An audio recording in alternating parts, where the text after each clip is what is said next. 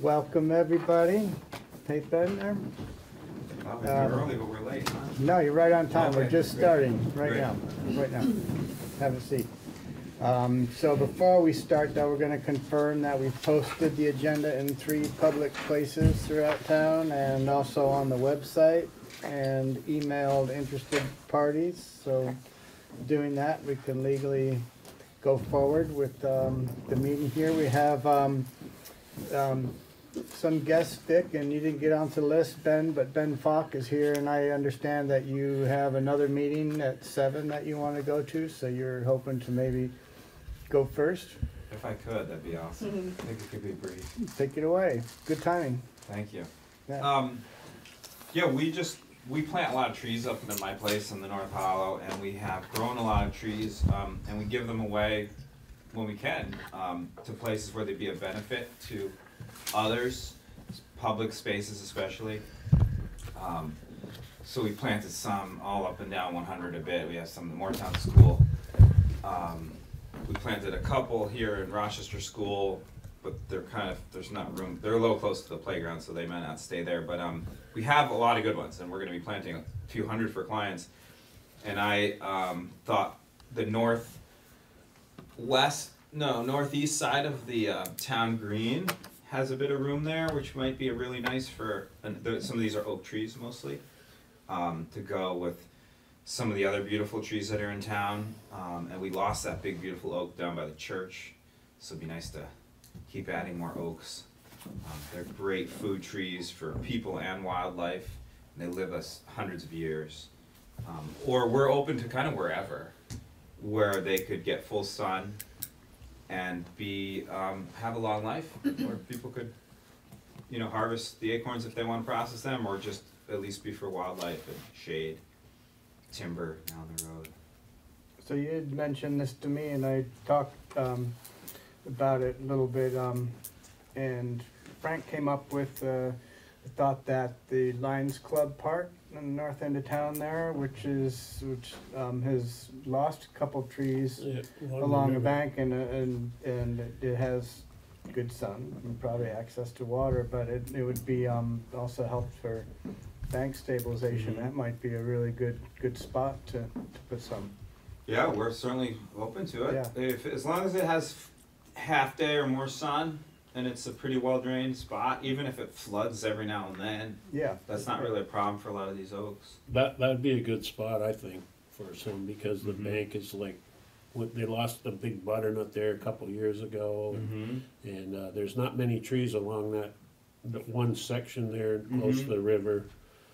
This is where the p- the nice timber framed little. No, Further no. up the road. Oh yeah, I by know. Sure, there's Bridge. tons of room there. Like, Yeah, Yeah, that's there's it. a big flat field. Yeah, Yeah, that'd be great. Well, right down, Well, there's a park be- right past Tim Crowley's driveway, Beans Bridge Road. right. There's a little park down in oh, there. Oh, okay. Yeah. Yeah, Okay. It was developed by the Lions Club. Great. yeah, there's a couple picnic tables down there and stuff. Yeah. Yeah. That that's yeah. I know that zone. That, that sure. And you're having good luck with oaks, cause the Yeah. oaks are happier on the other side of the Champlain Valley than you they are around they, here. they're- will grow more on their own there without planting. There's more natural dispersion. They grow fantastically here when they're planted. When they're planted. Yeah, mm-hmm. even white oak, Okay. bur oak, swamp white oak, and querc, the regular old white Well, oak. welcome the oak. acorns. Yeah, and it's nice because the only oaks we have here, and there's not many, are the red oak, and these will bear. The white oaks bear in the other years, like usually the year that the red oak's Mhm. not bearing, Mhm. which is a nice thing for wildlife. Great for the squirrels too. Yeah, and Mhm. even turkey love them and Mhm. help keep bringing the turkey Well, We'll populations look back forward still. to squirrels and turkey on the park. I don't know that we need more squirrels, but they they might help. They could help with squirrels, but especially bear, turkey. A lot of people, a lot don't of want them either. So, People so how many oats. trees are this you're talking about? Well, I mean, we have a lot, but I think it's a you know a little bit of a project to plant. They're big trees, they're two inch caliber plus, Mhm. um, and uh, to to plant them properly and give them a nice big mulch ring takes a little time. So I think we just do like two or three. Um, they'll get huge, so Mhm. you- you but can if there's a lot the of room, maybe there. we can do a little more. Yeah, you can look at the space there and see what you think would be best. I wouldn't recommend more than five to ten at the Sure. most, Okay. I would think. in that space. I don't even know if you could get that many in there. Okay. But two or Yeah. three. Yeah, I easily, mean, Yeah, Yeah, They'll, easily so. they'll, you know, we've seen them within fifteen years be, you know, thirty-five feet tall and have quite a nice crown spread. Yep. Um, Nancy, you got the question? Are you suggesting that you should plant them in the field or over along the edge of the river? I'm more thinking along the edge Yeah, Yeah. of the, of the thing, not in the Yeah. middle of the play area where people Right. can, you know, Yeah. recreate, play football or. yeah, we wouldn't want them doing it in a way, neighborhood. not just cause we don't want them in the way of anyone, but we also don't want them damaged. That's the problem, that if you put them in a place further Yeah. way, they just get wrecked by. Yeah. You, uh, um, how do they, uh, how do they stand up to beavers? Not that well. We can put, What though, does? I, I have a lot of beavers and, and if we put a, we'll put a vole guard on them, which they don't really need for voles, don't damage them, but beavers won't mess with them. A Metal window screen we get Yeah. from the hardware store. Yeah, They you- won't, they don't wanna bite through that. They don't You- like that. You probably need to do that. there, Sure, 'cause we'll do that. I did That's notice a good- some beaver action up above That's, there, that's a good, im- yeah, really good, Yeah. good thought. you know. Martha has a question. I just have a quick question. Are you uh, thinking now, beside, in addition to the northeast part of the park that he mentioned here in, in the village, as well as Beans Bridge or just at Beans Bridge? We were talking more about Beans Bridge. I think we'd have to Okay. give more thought to adding more trees to the park or not. That's, um, yeah, and there's a little bit of a, um, question of the, the, the line of oaks along Route one hundred, if they're, um, they're not contributing to the, the hard grass growing under there. If They, Mhm. um, you know, acidify the soil a little bit. Do you know more about that? How, You know, I don't think Grass. oaks make too much acid, but I mean, any, any tree with hardwood leaves, with big leaves will snuff grass if it's not mowed Yeah. up. yeah, But um, one of those is a really significant special tree. It's a bur oak, and it might be one of, might be the only one on Route 100 in the Hmm. whole state. That really big bur oak on the west side. yeah. So that's a special, you know, that's Yeah. like a very unusual So. and valuable tree. Um, It's a I, big- I, I feeling like we're interested in accepting your offer of trees out there on the, the Lions Club Park Mhm. along the river. Um, but while you're here talking about trees, um, maybe we'd ask you to review what's required of the tree warden position, which is currently vacant in town. And just, you know, to check that out and see if Mhm. that's something that you'd be interested in and, um, put in your hat in the ring for. Sure, I'd, I'd love to. Do we have a, a, a printout, or we could get you a, it's, it's more, um, responsibility than I realized, actually, Oh, once we okay. started reading into it. Uh-huh. Yeah, Frank, All you've right, been, I can take you've a been Yeah, there's a, into it some. there's quite a bit to it. Um, I don't know if it's a good idea to have another party involved or not. I, I have to do a little more research on it in order to, because what it does is, they made, they passed this law in twenty twenty. And what it does is it gives a lot more authority to the tree warden than what was ever thought of in the past on towns. So basically, uh, it, we really need to research it a little more to figure out what, how, what direction we wanna go. Because, you know, there's some, the rule was de- definitely passed more for bigger mu- municipalities that have a lot of sidewalk trees and trees that are, you know, planted by municipalities. Where there's a lot of issues with the rules where it could affect, you know, roadsides along the, you know, the town rights of way and on roads and stuff and, you know, so there's a, just a lot we need to talk about on that before we do anything with it. So, Alright, anyway, it'd be, um, interesting to, is that something, a printout we could hand off to him to just, so he could learn This- more about it too? This is only a partial printout. A partial So- printout. Yeah, we'll have to the so- whole It's thing. online, the statute is online. online. It is? Yeah. It can be downloaded. Okay, I'll take a look. Yeah, yeah, Maybe I can. looking for send something else to do. Yeah, Yeah, We could that's what you probably get send when you show up to a something. select board. Yeah, I can, I Yeah. can do that. I alright, think I might have your email. Perfect, yeah. Yeah, If I you- can- You think so, yeah. I can send it along, yep. That'd be great, yeah. so do you wanna touch base after you look at the, um, the Lions Club Yeah, Park and but, where you and think so I, some I've spots got are to pull going? up my phone. Like, is there a way? I got by the river. That's this. That's the park. That's Right. right. Yes. Yeah. Yep. So just the west side of that. park. Yeah, Yeah, yeah. I would, I would think so. Yeah. Like we could, as long as it's away from the knotweed enough. that It's gonna. I mean, these are pretty tall, so Yeah. they'll be above the knotweed to some extent. but Yeah, I wouldn't, I wouldn't plant them in the knotweed Yeah, anyway, I'd right. set them back a Yeah, no, bit. we'll do. We can do that. I, Little bit, I know that spot. There's sun there. Yeah. Yep, Perfect. I think yeah, that'll they work would good. Be happy there and perfect to replace another nut tree like butternut because they they keep Yep. dying back. Yeah, there's, there's like no real big trees there anymore, maybe a Right. couple up on the north end. Yeah. Yeah, by the by the picnic tables there's some there. but- Yeah, there's a storage shed up there. Yeah. Yep. Perfect. No, no, that's a great spot. Yep. Okay. Right. So we can, should we, like, it would be this week because I still have my apprentices here. Let's Mhm. who's the- tagging along. Um, got some labor force because it's a bit of pro- uh, work.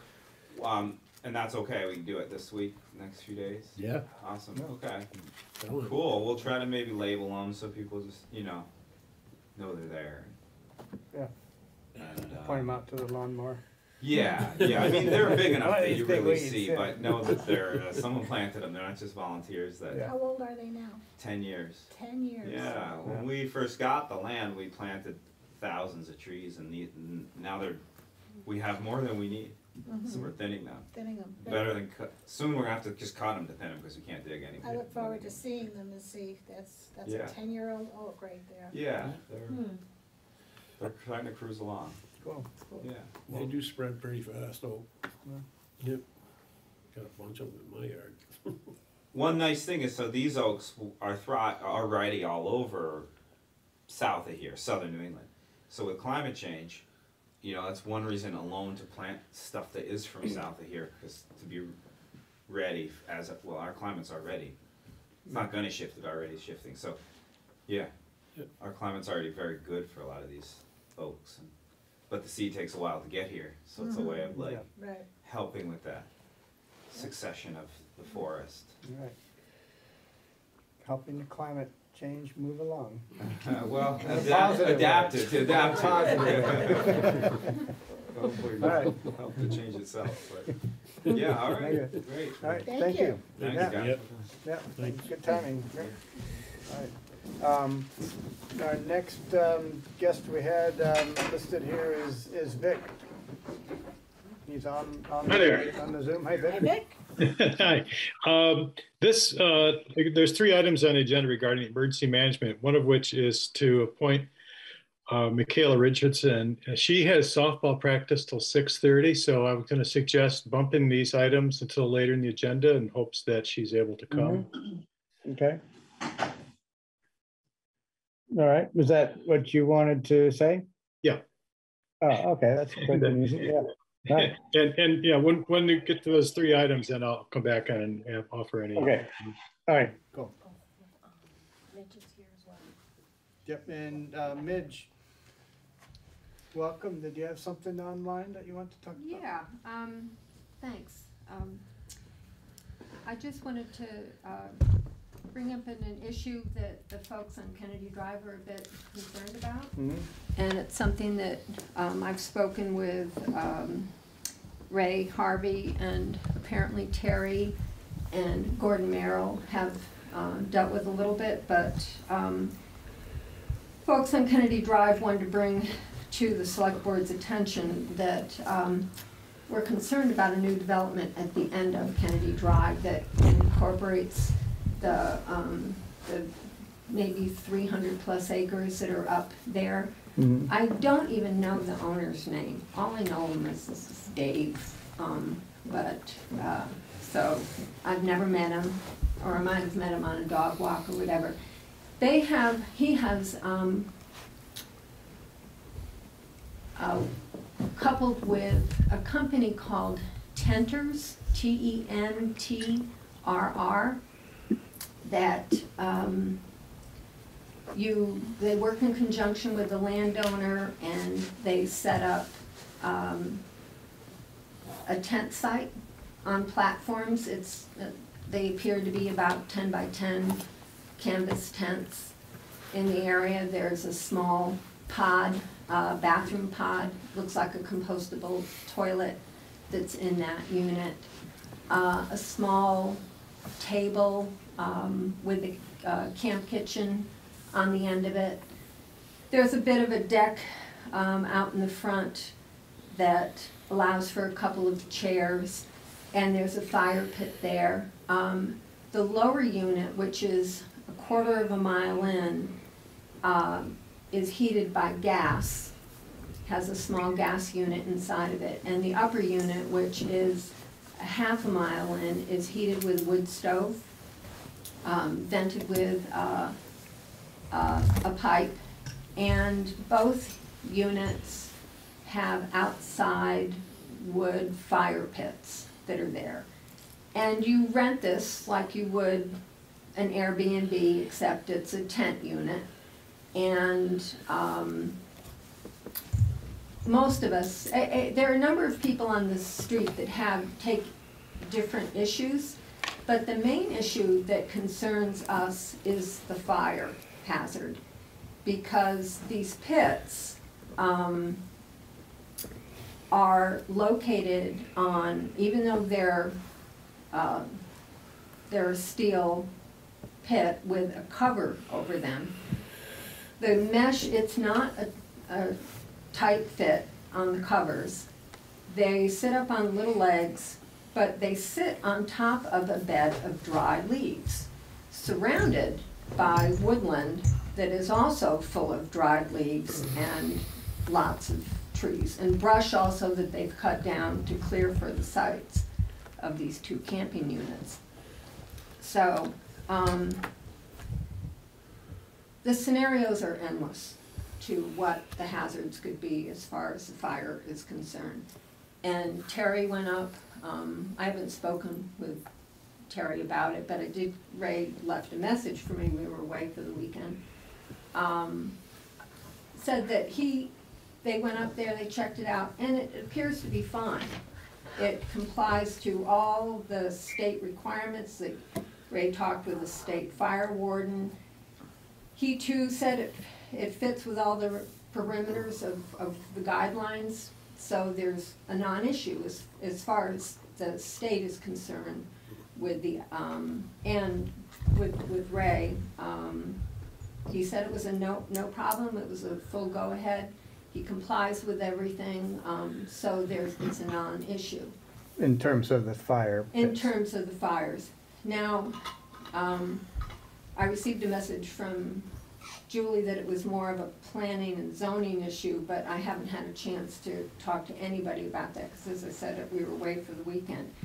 And we just really learned about this last week, and people of the, the, um, street have just been trying to talk about this and figure out what do we do. And even though the state fire warden and Terry or anybody else who looks at it says there's not a problem, the folks on Kennedy Drive don't feel that way. And so we would, you know, I so appreciate the fact that they really got up there pretty quick and checked it all out. But, um, we would like to have it on record with the town that we're not okay with this. Um, it is, in my viewpoint, I wouldn't have even set up that fire pit in my own yard the way that they have it set up there, never mind in the woods. And there's very little, if at all, cell coverage up there. There, they do offer fire extinguishers, but I believe they're the small ones, so they give you two small fire extinguishers. You're not supposed to drive your vehicle up there, so anybody who walks into there to do their camping, if they have an issue while they're there, they would have to come off the hill and before they could contact the fire department. And so that is an issue. The wood lines butt up against the back of all of our houses. Um, it affects not e- only folks on Kennedy Drive, but, um, you know, fo- folks on Wheatfield as well. Um, that goes, the property goes all the way up to the pier, behind the Pierces. So it's a large swath of land that's vulnerable to this. And, um, I know that on our phones, we have, you know, you look up the weather and it'll tell you warning, fire warning within this region.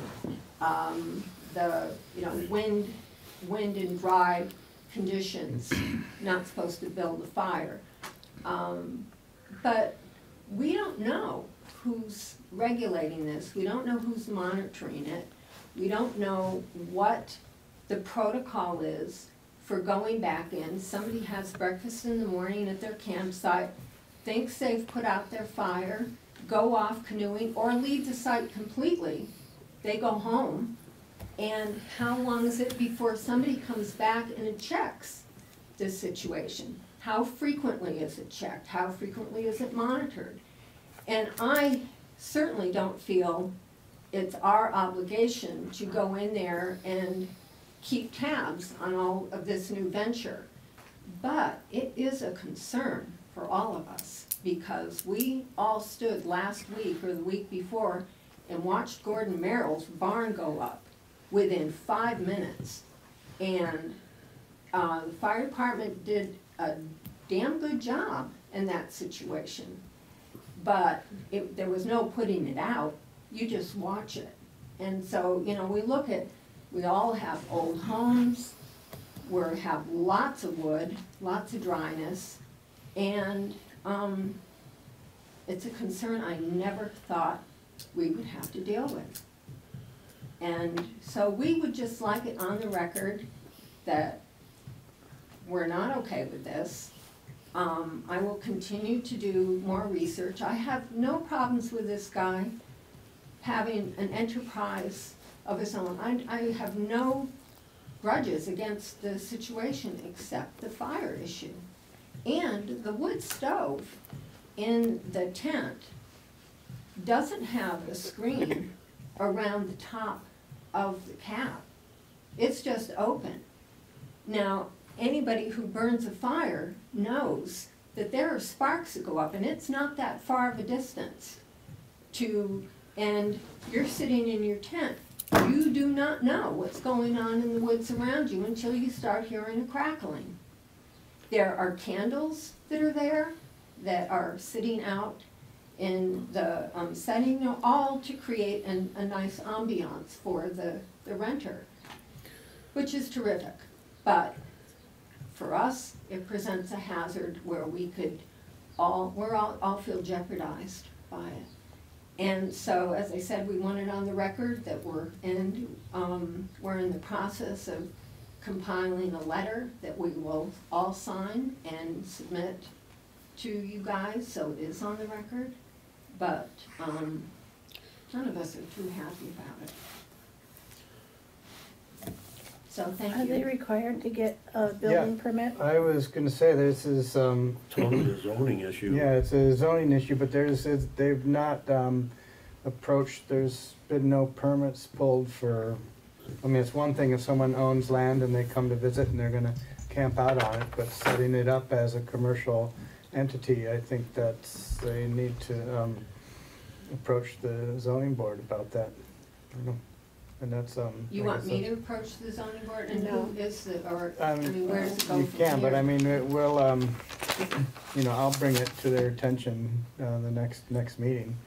And, and I understand that, didn't we, this person, Dave, had contacted Julie at the office, did, did he call about questions about coming to talk to the select board? I think I heard this, but, and then he was referred to, this is a planning board issue. Do We you talked- remember that? We talked about it, you showed me the letter and, and, uh, I said it's a zoning issue at that point, and you called the people, is that correct? This That was last, some time it was last week or sometime, when you showed me that letter. Wow, it's it's been Yeah. a, I know, it doesn't sound familiar to me either, and we chat about everything.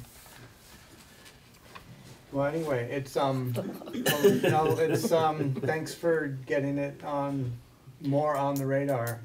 And it's, um, I think that's something that the, um, planning board is, Because I don't think you can just, um, Open a create an campground. enterprise like that without, um, there are, there's zoning restrictions on that. I don't think you could just even open up a, uh, um, a bed and breakfast up in the hollows without, um, jumping through some hoops, so. I mean, Interesting, I, I had no idea, I mean, the first thing that came to my mind was, a- and is that this is a fire issue. Um, but apparently not. So Um, I have a question then, when you say you couldn't open up a bed and breakfast up in the hollow, well, how do all these Airbnbs operate? Do they come to Good planning and question. zoning and No, the they select don't. board to They set just- up? No, they don't. No, but They're then- all over the place. But they do have legal structures that they're renting out. This is. Well, you this think is they're legal. Well, that's up to the fire marshal to That's right. determine whether they're legal or not. That's right. Um, But- But this is, this is a, a structure going up. But this is the same idea as an, as an Airbnb, a Yeah, well, tent we'll B start and with B the or basics, something. that there's a structure being erected on a piece of property without a building permit. It's just a Right. platform. Start there, work Yeah. our way up the It's just a ladder. platform. It's a platform with Yeah, a that's, tent. that's, uh, You yeah. can't get them for tent. Um, Yeah. I don't know, I Yeah. mean, sugar houses are taxed, um, If you they're know, renting who it wants to out, know it's a about commercial this? operation. Well, that's where they could get them. Right. But as far as about- fire hazard, there is, No, I, Yeah, we drove up there and it's, those things, uh, what they got to hold their fire in is very good. Mm-hmm. And it's up in the air, so anything falls underneath there is going to go out because the screen is so small. And it's all dirt underneath them.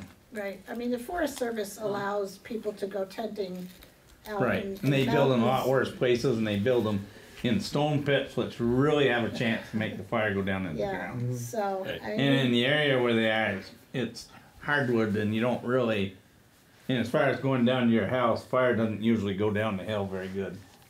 So I have another, another question then, if the property is in current use and you're establishing something on current use property, is that a legal issue for current use and should the listers be made aware of it? yeah, well, it'll, all it'll all start with uh, zoning. yeah. yeah. it That's, all- that'll it be the goes through trigger that. to filter out to all of, the- answer all of those questions. Well, that's where, I mean, do they have ample parking spots? Yeah, where are they the- parked? they're parking in Kevin Kelly's driveway. Really? Yeah, he's given them two units, two plate parking Mhm. spots to, um, uh, to utilize, and then you're supposed to walk in. Now, we, there isn't any evidence at this point that anybody's renting, um, but you can go online and it's a franchise, it's all over the country. Hmm. And these tents are all over, and they're, it's expensive, it's hundred and fifty dollars to spend a night there. So, um, and you, they offer you a bed, um, and you bring your linens and you bring all your food, but you, you have to lug in your water, and I'm really glad to hear that fire goes uphill. I don't know how Sandy feels about that, but. Well, I don't um, feel that great about it with our property. No, no, I mean, we're, we're all, The only good thing is we can get a fire truck right Go to the there. zoning, Which one? that's all I can Yeah. tell you. You can't get it up there. Yep, You can get a fire truck in there? sure, Oh, easily. Good. There- once, there's once you learn that the fire is We've, there. that's burned out before. I Yeah, we remember had a fighting fire that there up ten years, or probably fifteen years ago, twenty That'd be- maybe. all Yeah, that. I don't That remember burnt that. probably 10, 12 acres in there, hmm. Yep. I Yeah. remember fighting. and we definitely got a lot better holes now to fight it than we did back then. Well, I my, remember driving the truck up in there, actually. my goal is that we don't ever get to that point. Yeah. Carrying No, a I'm- backpack. I'm, I'm all for just kind of nipping this. Well, and give the devil its due, it's very possible that he does not realize that he has to go to the Yeah. Bo- planning and Yeah. zoning board. Right. Yeah, and I, Yeah. I, I, like I said, I have no, um, issue with him personally, and I don't wish to, you know, uh, stop up- this enterprise of his, but, um, the zoning is a totally different issue. We're, you know, we're. We just live there. Yeah. He- He's operating a commercial business in a non-commercial zone, basically. He has stated Yeah, that he's only but- going to do the two. But Airbnbs are exactly the same way. Yep, True, but it's, it's a different setup. I don't see how it's No, that one's much outdoors different, and one's indoors. Not really. other than the fact that I it's don't under no either, land but- use. Right. So, Hmm. You're saying this goes to zoning and planning, Yeah. so Yeah. is Yeah. this something, again, that I should take to zoning and planning, or you guys? You're will welcome to, it's the me? first Tuesday of every month, so that will be, um, Next week. Next, next May- Tuesday. next Tuesday. May third. Do they have to get themselves on that agenda? Did we do it the day after? Say you You want can to kick it off, can't You imagine. know, you could get on the agenda if you want. Okay, who Yeah. would I contact, who was it Um, Dan McKinley? oh, okay, sure. Yeah. Or does Sandy do the agendas? Either one, Dan or Sandy, yeah. Okay. Yeah. Okay, well, thank you, I appreciate that. And we'll still end up submitting, Yeah, yeah. uh, a it's good petition or a letter, um, to you guys and, um, we'll get anybody who wants to sign it. Um, yeah, thank you. No, thank you. No. So All right. that's it for me, and I appreciate your time. And Yeah. Terry, I really appreciate you going up there and checking it out, it Yep, no problem. really, The guy was real good about it. Four of yeah, us went out, walked all around yeah. Oh, you met him up there? last Friday. Ray and I went up Yep. So did with he, Gordy and the owner. okay, did they contacted you? Or I contacted Ray Ray. contacted me, Yeah, okay, and then I contacted Gordy, and he contacted the owner. We Okay. met and went up. was Gordy kind of the property manager Yeah, for that? Okay. He's the uh, Forester, is Forester. The the forest forester, manager right. there. All right, um, Thank you, Good. to thank be you. continued. Um, while we're still waiting for Michaela, if we could, um, we have a liquor license application from the Rochester Cafe LLC, or actually it's Cafe Rochester LLC. Cafe Rochester. Yeah. um, For a first-class liquor license in their restaurant, and I think they're, um, it's because they're thinking of perhaps venturing into dinners. So, um, I'd make a motion to approve that. I second that. All in favor? Aye. Aye. There's no menu here, though. It'd be nice if we could like make a takeout order in the meeting. you know. Marketing. They ain't putting that now. Gotta wait till next week.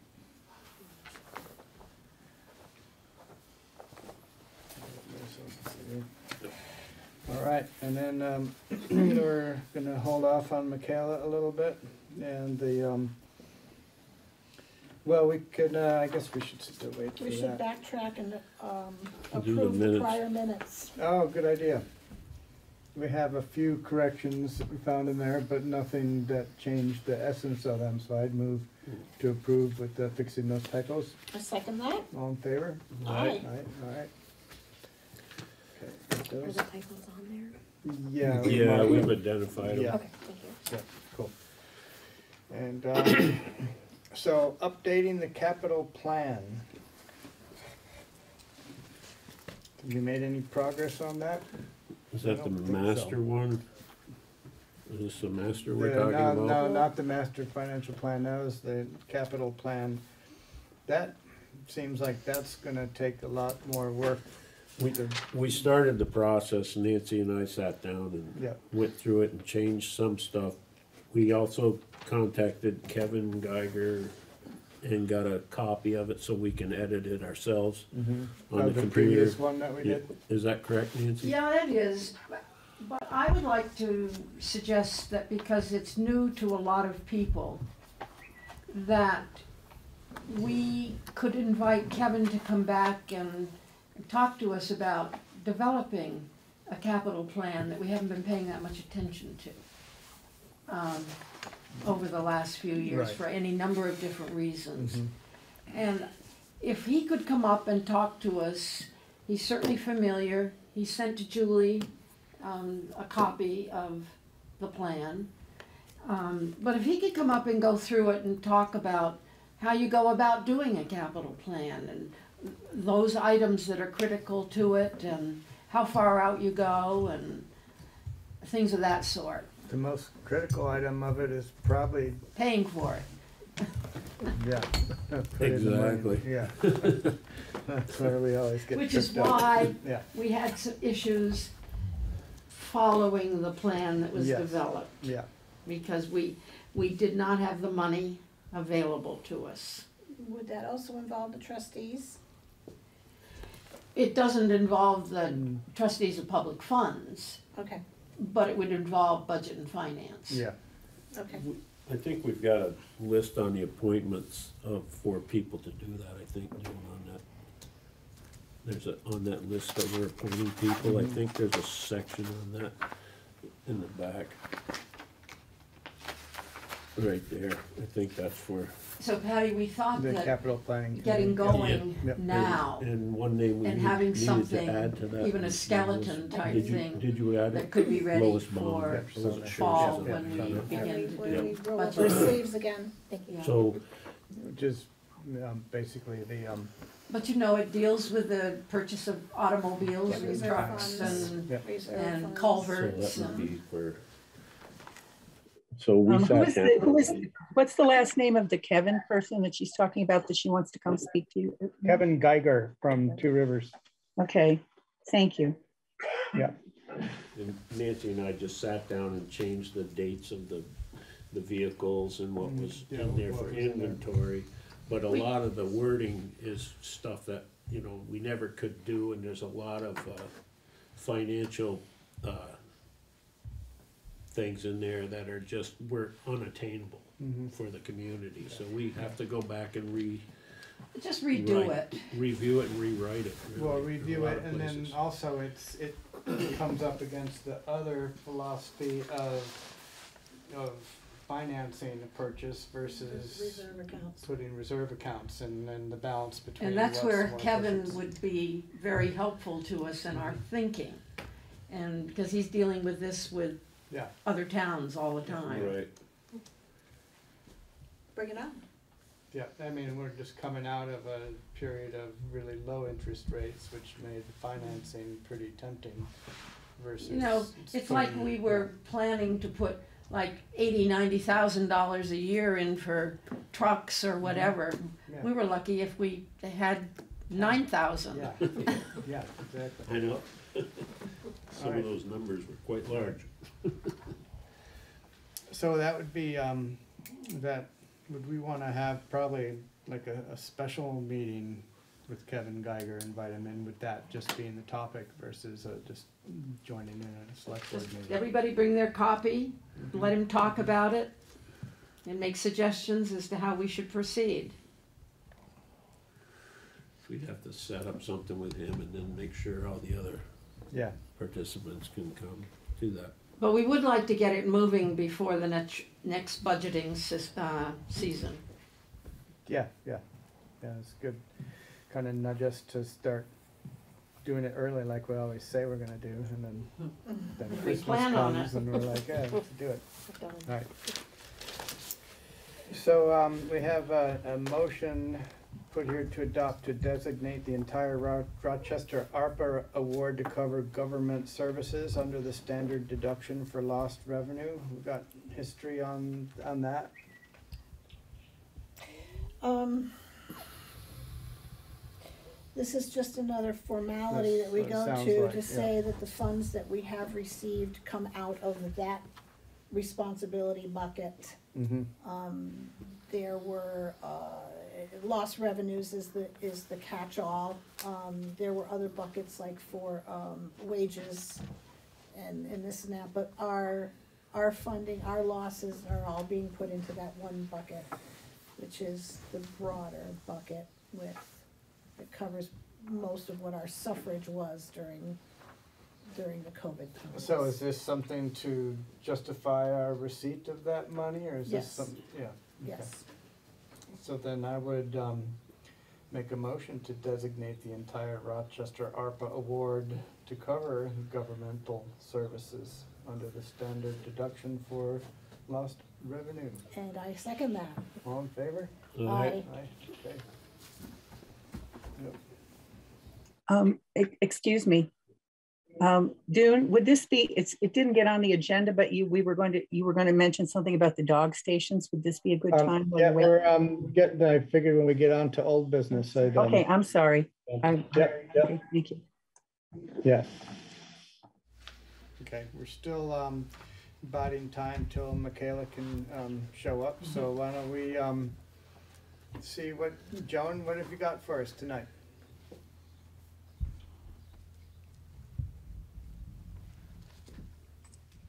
Okay, hi, um, I really don't have anything to report for, All right, fine. Then, um, John, All I've got to report is the new truck went into the bodybuilder today. So the process has started. So a little earlier than we originally thought, huh? Yeah, A Little bit. Do we Expect delivery by June? Cause it has to go for a wing as well, and that's what it's, that's what's getting they getting, started that today. okay.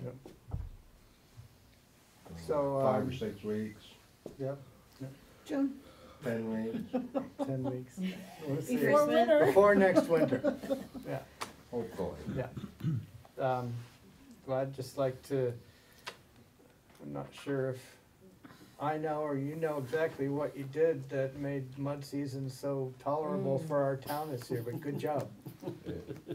Yeah. Take lucky any day. I mean, some of the horror stories we heard from no- some of our neighboring towns, we, um, I think we got off easy. I'm sure there were some awkward moments for a few people here and there, but, yeah, it's, um, Wasn't too bad. wasn't too bad, yeah. We were fortunate, I think. Um, so I have a question about, um,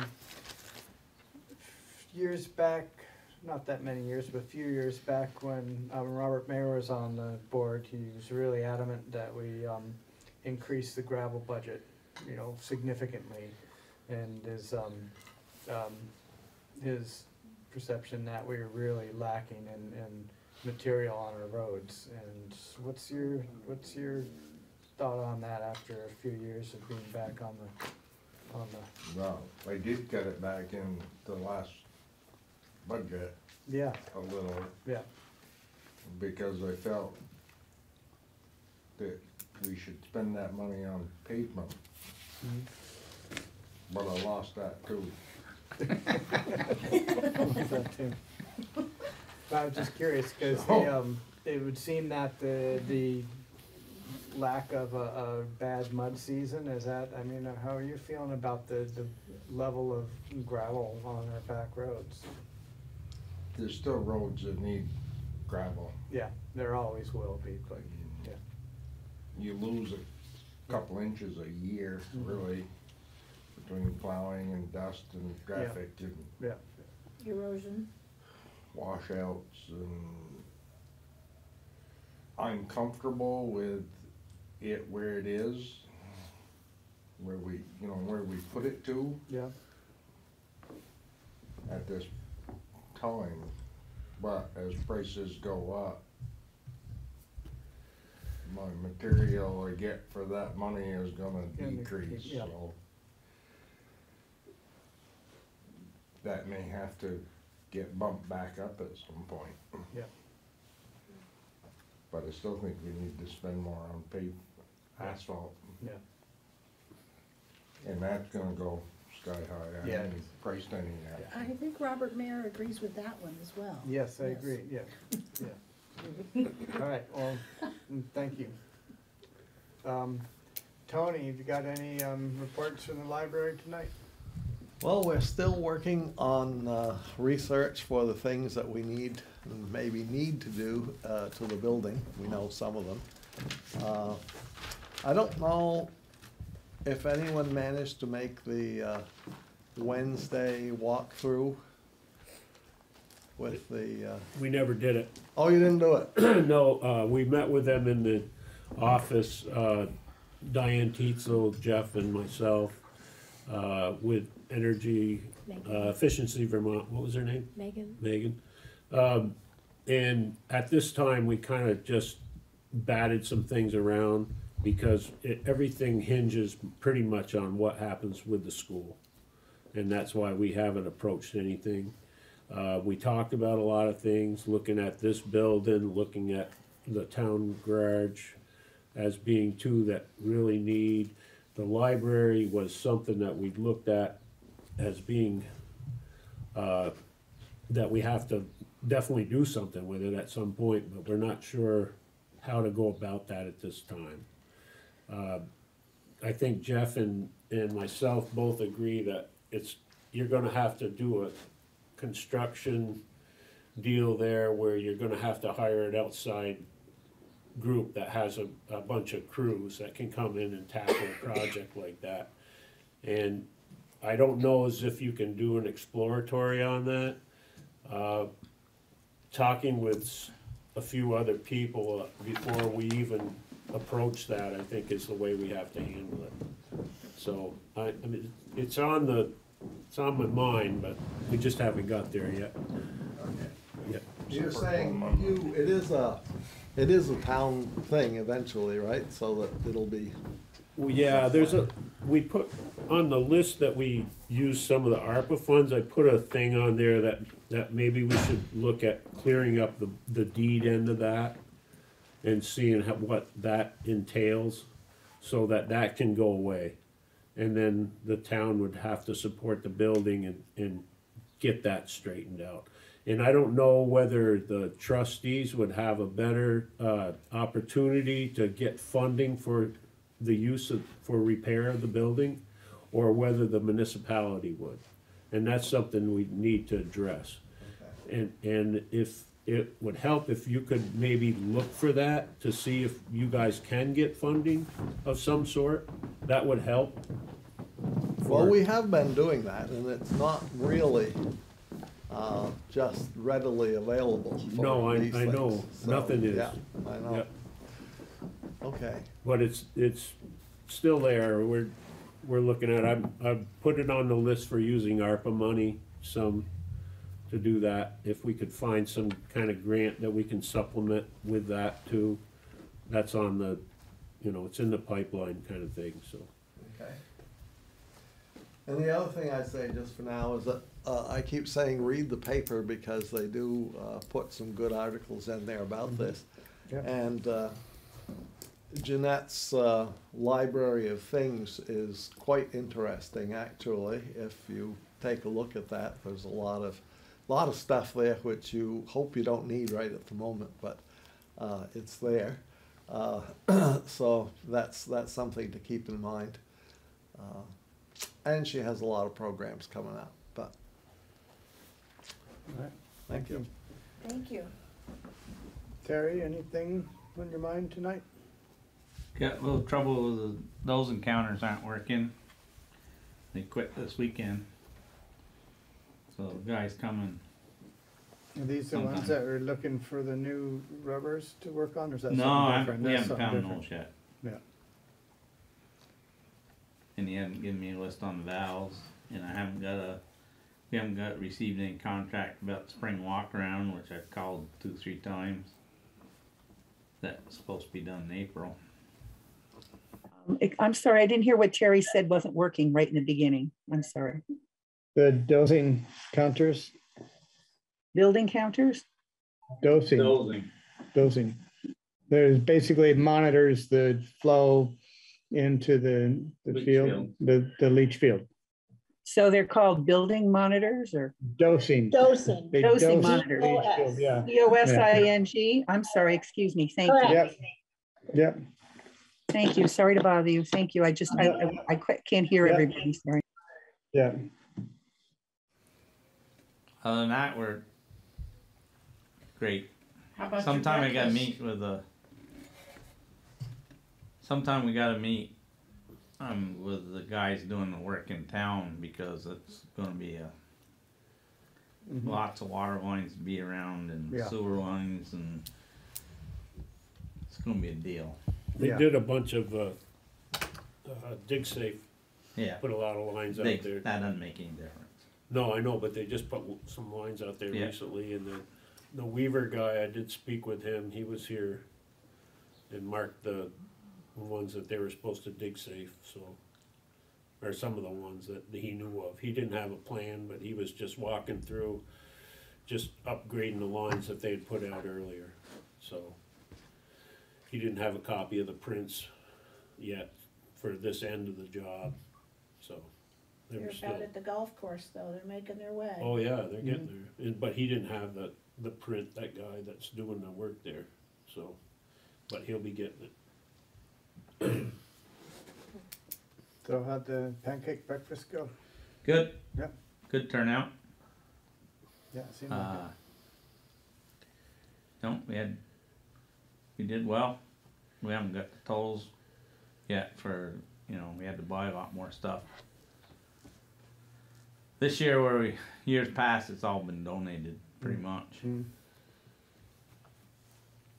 We did like eighteen takeouts, so I guess that was worth it. Yeah. But I think overall went pretty good, don't you? Yeah, everyone was really happy with it. It was good to see everybody. Thanks for the guys giving up their Easter to do it and the families. Yeah. Yeah, for sure. I mean, a lot of the guys that got kids and stuff Mhm. gave it up to do that. Yep. And also a lot of guys brought their kids. It's, Yeah. it's definitely a nice family.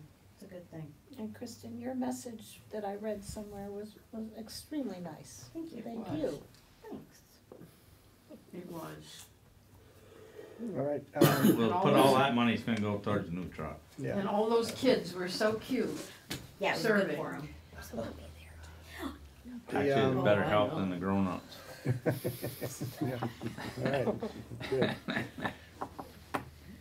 Um, we got Jeff Gephardt in the, in the No, crowd? he's not here Not tonight. here tonight, okay. All right, um, so let's, um, let's talk some about the, um, we brought this up, Susie brought this up at the last meeting about the, um, dog stations or the doggy bag stations.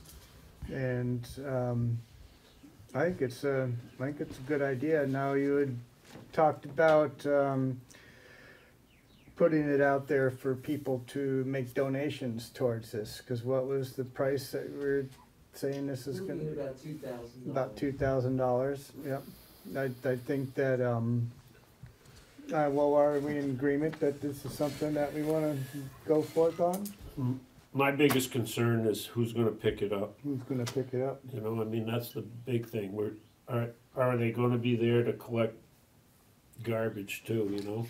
Bags of garbage, that's why we got rid of the, The garbage bags, the, the cans, the yeah. cans on the park, because people were leaving their household waste there and, um, I don't know, I've, I, all for putting signs out, but I don't know about having to put out collection stations. I, I just don't know who's gonna empty them. Yeah, I'd be willing to go forward with one or two, but Mhm. not really five. Let's just test the water before we dive right in and Well, see if collecting is. What a about if problem. you have just bag dispensers, but people take the bags with them? I mean, that's one thing. A lot of times it's a good excuse not to pick it up because you don't have anything to pick it up Don't have a with. bag. But if we, um, could put, the- make the bags available without having them to obligate someone to empty the, the garbage can of it, I mean, It would reduce the cost. it would Um, reduce the then cost. the station just gets installed with a And, relatively simple post hole digger. Um, And the sign is just a sign with a bag thing. Yeah, Hopefully they don't collect bags at the bottom of the sign. Used bags, or we could just say we sell bags at the hardware, yeah, Go to the Something hardware like free that. bag. yeah, something like that. Um, Susie, instead of the, uh, instead of having the problem of the collection. Yeah. We could take baby steps into this. Yeah, I, I think that's the way to go. I would think a few more signs posted around there and where they're more visible would be good to do that. Or a sign with the, the bag dispenser. Yeah, or- or Yeah. even, you know, pick up after your dog kind of thing, you know? Yeah, but it's, uh, the whole point is trying to make it easier for people to. Right, to do To it. do that, and they Right. don't think about That, it. oh shit, I don't have a poop bag. Really. Yeah. You'd be surprised how, um, would work as a hand warmer in the winter when you could do that for a while. Yeah. But you want good bags. You gotta tie it down. Hope- hope you Dude, it's get a big open I think I'm joking, but it's true. It's a big dog. Um, excuse me, could I, could I ask her just one thing about this? Um, the information that Susie gave me, we were trying to figure out what to do about donations. And we had thought in the article that I was going to write, but held on to to- until you guys finished this, um, your approval of this. We couldn't decide whether the donation should be sent to her or it's possible, I talked to Dune today, um, be sent to the PO box at the town office. And if someone on their check puts in the little left-hand corner on that line where you can tell what it's for, they could put, you know, dog station or pooper scooper station if somebody wants to make a donation, but the check should be made out to the town of Rochester. Would that be correct? Or what do you think? Yeah, I think? think that would be the way to go, to send it to the town, yeah. Susie had a comment? Yeah, a couple of things. Um, initially, I, I'm feeling quite confused because at the last meeting, uh, there was, you proposed, and there seemed to be general approval that it would be, uh, quite easy to deal with the pickup because all of these properties are town properties and they're maintained year-round, um, through summer, spring, winter, and fall by mowing and plowing and that they would, Well, that was put out, you know, and it's, um, That was just an idea, we, we not- weren't sure. not, it's not like someone plowing is gonna get out of the plow and grab the bags and bring them into their tractor with them, it's not. Cooter just left. It's, uh, Cooter just left, yeah. Um, He's smart one. you know, that's what we were, um, struggling with actually, was who, how would they get picked up? How would it be emptied, you know, is this, um, you know, who, whose shoulders does that fall on? And I think that, um, expecting a volunteer force to do it is, is asking a lot. I mean, basically, we're asking every dog owner to be a volunteer and to, to pick up after their own dog, and then if we could, it seems that, so what we're talking about tonight is just to make it easy by having the bags available would be a good, good first step versus having a pile of full bags, you know, frozen in a heap in the winter and stinking up the park in the summer, you know. Cause it's not gonna be, um, I mean, it doesn't take very long for a bag of dog shit to start Mm. smelling, you know. But keep your hands warm. It does. Adds a little ambiance to, to your skin. But that's, um, um, but yeah, we hadn't, we hadn't come up with a, a real clear solution about who would be responsible for, for. you do understand that this is a ten, ten gallon receptacle. This is not a. Right, thirty- so That's it's a, of the so it's a significant thing, it's not just, you know, it's, you know, you don't, don't have one, so ten gallons of dog bags would really start stinking in the summer, you know? I mean, I think we really need to, you know, do what we can to encourage, encourage the dog owners to take care of it themselves, and then by giving them the tool to do it would be a good, good stop, but not, not a place to, to dump it, you know. I mean, whether they walk over to the skip mark and throw it in the garbage can by the counter, they take it in there and take it home with them. Put it in their pocket and go home. Forget it and do their laundry. Yeah. Yeah. Or Wash their, or wash their clothes with it. Yeah. Oh dear. Okay, so, so I'm getting a sense that the general feeling is, is really, it, this is ultimately the dog owner's responsibility and Yeah, we don't, we don't have someone in line that would be, that we could saddle with, hmm. you know, emptying this. You'd, you'd think that you'd probably, once a week would probably be too few of a times. I mean, in, in the hot summer, it's just, and then if you wanna, you know, bit of the build up. And then, and invariably, people would start throwing other garbage in those things too, more than likely, Yeah. Without doubt. yeah. That's You'd my get all biggest- kinds of garbage. And don't they Yeah. have to be cleaned? Wouldn't they have to be kinda cleaned or You'd sterilized or expect so. something? Yeah, you'd- yeah. I would think Yeah. so. After a while. Well, they have line, they have a liner bag that you just Right, take, you know, Yeah. you're not throwing, throwing the loose feces in there. Um, yeah. I, I think we just start out with the, like you say, you The guys, bag receptacles only. yep, And They're then- bag dispensers, bag not dispensers. receptacle. Yeah, Yeah. dispenser.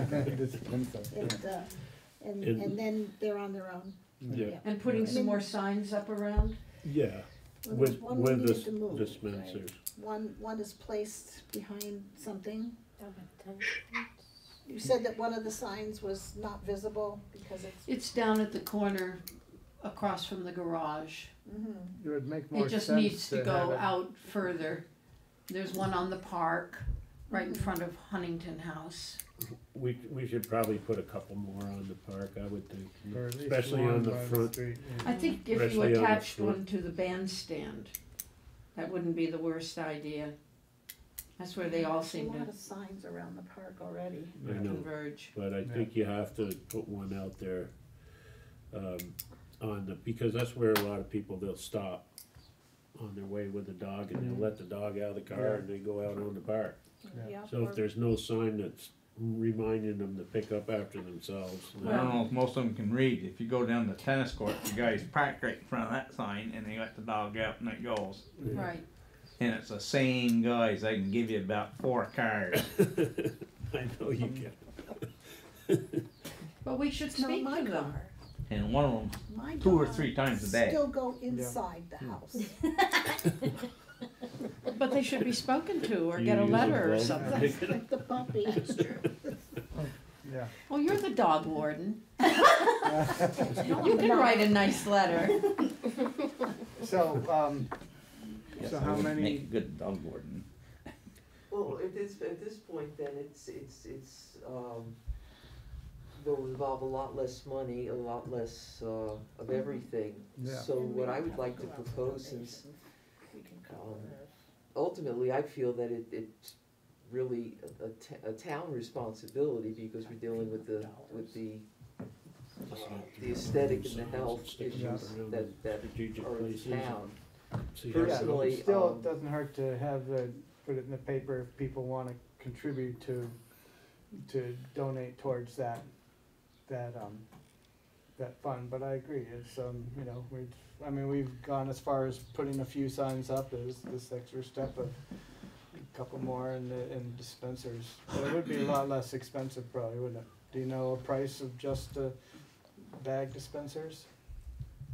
Uh, it's essentially, this is the, it's a little bit less, it's the exact same structure without the, uh, the attached, uh, um, uh, I collection mean, probably just hook right up on the signpost. On the Yeah. sign, I think they should just be under the sign. Right. Yeah. They're Well, little, well, you're talking about something completely different then, that's, that's, this is a unit within itself where it's got the, it's got your metal post and the sign and the dispenser attached to it. I don't know that you can just buy a dispenser and put it on your own pole, I mean, that's just a, that's a whole nother, uh, avenue of research that would have to be Yeah. undertaken. I would think you, we'll we'll dig into it a little bit and, and see. yeah, if, it- if they are like that, Susie, uh, um, find out how much they are and let us know with that. And Right. then, and then once Three? you see that, you'll decide how many you'd like to Maybe have four? up. Yeah, Yeah, I mean, well, we, I think we can decide on how many we need now, we're not Three, talking mega bucks here. Right. Yeah. Right, we could get more bang for the buck here, like, Yeah. Wasn't it, was like they came in units of five, They singly, they, they just, they, they, uh, they do do some bundling, um. The, uh, major difference in cost is, is that with each additional unit, if you buy a bundle of five as opposed to a bundle of four or a bundle of two, they increase the amount of bags they give you up front. you know, Mhm. they'll give you twenty-four hundred bags to start or something. Yeah. Um, But what I'll do is, is uh, I'll see what the other options are and I'll, I'll uh, write that up and give it to Julie. Thank you. Yeah. Yeah. All right. Um, So no Michaela yet, eh? Yeah, she, uh, she said she was coaching tonight. She wasn't sure if and when, so uh, if we could go ahead on that action, then, uh, I think, I Yeah, think we'd be well, I, we do know that she is uh, willing to take on that, um, appointment as the Rochester's Emergency Management Director, so I would move to appoint her as that. I second that. All in favor? I, Aye. Thank you, Michaela, for coaching. Before you move on, um, so we should just wait until, um, the next, after the next meeting to put out something about that we're trying to do this and No, no, we can put that out now, e- even if we don't know exactly what the, It'll the, help what the determine cost what is we're gonna gonna be, yeah. but yeah, but yeah, we I'm sorry, could, Patty, what? It, it'll also help us determine, you know, what to do, what to spend on. Okay, and you want me to say that people should send donations to the town clerk for the Yeah. presentation that is for this purpose? yeah. Excuse me, I have that separate article that I talked to Susie about, and I was gonna hold it until next week after I heard what you talked about today, so um, I can edit it to make, you know, it, whatever you'd like to say, like just, it's gonna be just bag dispensers, not dis, not deposit places. Yeah. that kind of Yeah. stuff. And then I can sounds have good. it, have them send donations to the town if you'd prefer that, to the PO Yeah. box, town clerk's office, and write on the check in the lower left-hand corner that it's a donation for the dog station. Yep, that sounds good, Marcia. Is that okay? So that, that can run in next week's paper. Unless Sounds you, good. if you have any changes, I No. can, let me know, but, um, Okay. it won't, it won't good. run this, it won't run this week. Okay, all right. The dogs will run though. Um, So we've got the, um, we have an updated local emergency management plan for twenty twenty-two, which is, um, something that we need to, um, approve and we adopt it or just approve it? Has to be, uh, approved and, uh, and then sent to, uh, Kevin Geiger, at Two Rivers by Yep, May first. yep. We do this every year. The only changes from last year, a couple of, uh, phone numbers and name changes. And also identifying Michaela as the emergency medical, or Yep. management director. Cool, so, So it um, is updated. yep, so I, um,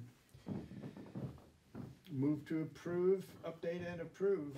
Um, Nancy, you have a question on that? Does uh, Michaela's appointment also include the regional emergency director position? Yeah, that's automatic, goes with the position. Yep. Okay. All right, and along with that approval, we also have to approve the local emergency management plan mu- municipal adoption form for twenty twenty-two. Basically, that's just what we have to fill out to adopt the, the plan, I think. It's the same as last year, just a. Yep, yep. So we move those two things. Yep. Yep. I'll second. All in favor? Aye. Aye, okay. Um, And, um, an old business also, we had the review of the master financial policies. I had just a couple things, one, a couple typos, but uh, we, in section three, the cash receipts, petty cash and return check policy, the authorized personnel, it didn't in- include the fire department in the list of, of, uh, things that are town Entities. Entities. And also the proper payee section should include them too, I think. Those were two of the things that I took out of that. And you can see that Yeah, by reading yeah, that yep. paragraph there. Good catch. So I- other than Yeah. that, I didn't find some, but I think that, um, Barb got a copy of this too, right? Am I correct on that? And We she- all did. Yeah, yeah, Yeah. everybody did. Did- Did what? Did you check me for they're, she bringing I it to will a be. meeting, Okay, wasn't she? please. Yeah, she, w- they don't have a meeting until next month, I think, so I think they were Right. gonna, she I was still gonna read have- through So that. we'll just keep this on old business and keep picking away, but, um, Yeah. yeah, and, um. Yeah, uh, I, I didn't see anything else that was major. I, I saw a couple of charts in there, but I didn't understand them, Yeah. so I'll let somebody else think of, think about that. Um, these are the forms for the emergency management plan. And. And we also, did we have, um, second constable is still vacant, we don't have, um, and the tree warden, I guess we can hang on that and, and and then, you know, see what the interest grows Yeah, we, on that. we need to get a fuller copy Yeah, of this. And you guys should read it to see what you think. So Uh, we've, I mean, I, Yeah. I, I personally think we're better off being served by the select board on that, but you Yep, guys can okay. read it and see what you think. um, so we're that's the adding way I a feel. capital planning committee to the appointments, is that We should. what I'm reading? And then right now we have under there Greg White, Barb DeHart, Nancy Woolley, Lois Bond, Julie Smith, Kristen Lapel, and the select board members. Yeah, Anybody else? you probably don't need any more right now, but No. if you want to add people, you can do it. Yeah. And because it's a committee, it does fall under open meeting laws, so the Yeah. meetings Yep. will be Yep, warned warned and and- minutes will be taken. Yep. Yep. All right, so I'd move to make that appointment. I'll second that. All in favor? Aye. Alright. Okay. All right, um, picking away at that. Um, all I see is we have some, some bills to sign and then we're um, going to have a brief executive session to talk about employee issues. And unless anybody else has something to talk about, anybody in Zoom land? Martha's on muting. I'm muting. Nope, Nope. nope, I- all right. She's on mute and talking, but she looks like she's all set. I'm sorry, excuse me, now I've oh. unmuted myself. No, I was just moving, moving my mouse along so that I could hit the leave when you were, when you were done, oh, because, Oh, mercy. sorry, excuse me. It's all good. All right, thank you all. Okay. Have a good evening. Good night, Yeah, guys. thanks. Música